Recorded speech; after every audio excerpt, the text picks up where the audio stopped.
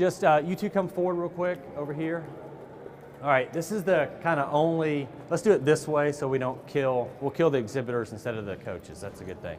All right, so one at the net, one here. All right, I was doing a clinic last year with third graders and I had college kids help me run the clinic. And we got ready to learn about arm swing.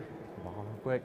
And I'm talking with the second graders and I said, guys, what's the equator? And they're like, oh, it's the imaginary line around the center of the earth. Great. And I said, all right, well, you want to put your hand on that imaginary line to get top spin hit on top of the ball.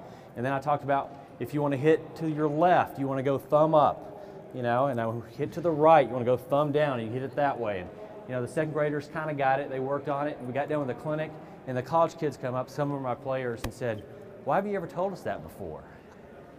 Thought you knew, okay? I thought, I, I mean, that was obvious, right? I thought you knew. They didn't know, you know, that if you want it to go that way, I mean, some of them can make it go that way, but they never thought thumb up, thumb down. So I think arm swing is a really good, important thing to have, being able to control where you're going to hit the ball. And so we do this at the start of every one of our practice. So first thing, toss, hit it chest, straight on, just back and forth, all right?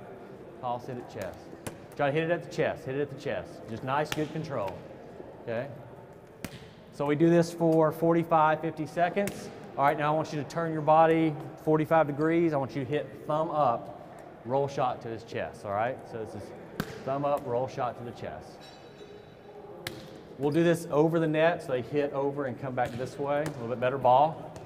So, and I also tell my team my only job as a coach is to have a ball in my hip. I hate people shagging a ball during a drill. Let it go, throw another ball in, all right? So we do this for a while. All right, we do this for about 50 seconds.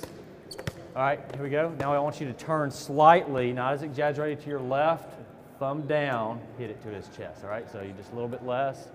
This is a really tough skill for young players to do, and you don't want them to be too far this way. You just want to be able to turn that ball a little bit, okay? You got to explain to them they don't got to hit hard. If they're facing this way and can hit that way, the defense won't be there, okay? And the next thing we do is we add uh, jump toss, hit to the chest. So go ahead and jump toss, hit the chest, and do a little mini approach.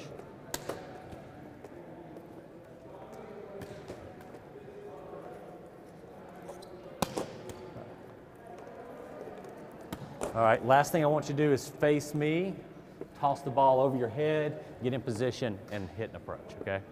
So face the other way, face the other way, yeah, from your head, toss it over your head. All right, just trying to get them to get used to getting under the ball, okay?